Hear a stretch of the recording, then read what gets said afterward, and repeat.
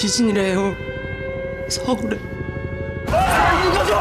살아 있어야 돼. 넌 용기를 냈다고 말하고 싶겠지만 무모했고 한잔 도박판에서 생명을 건 주사위가 됐을 뿐이야. 1% 가능성이라도 살릴 수만 있다면 난 뭐든 할 거야. 그게 내가 의사인 이유니까. 넌 내 두려움이 뭔지 몰라. 이해성, 선택의 순간이야. 우리 엄마 살려내. 둘 중 누굴 선택해야 될 순간이야. 우리 엄마 살려내.